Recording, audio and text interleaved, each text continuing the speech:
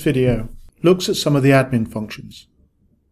I'm logged onto our demo network, alfresco.org, and I'm logged in as an administrator. I can have a look at the account settings. There's information about the account. We can see that alfresco.org is a premier business account. We can see when it was created and the number of sites we've created. We also have some details about the users. I can also see how much storage we've used.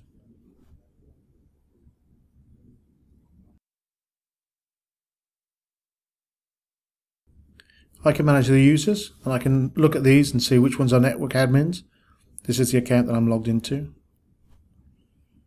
We can see which ones are network members. These are part of our network. And I can promote them to admin or I can delete them.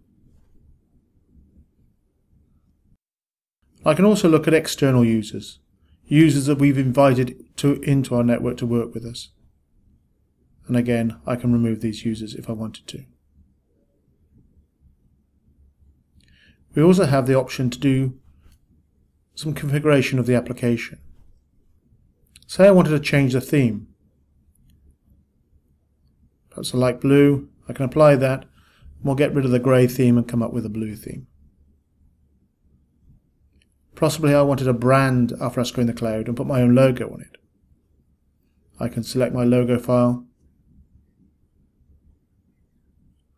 upload that, and possibly I want to have a green theme to go along with the green energy logo so select a green theme and apply and here we can see my new logo my new branded site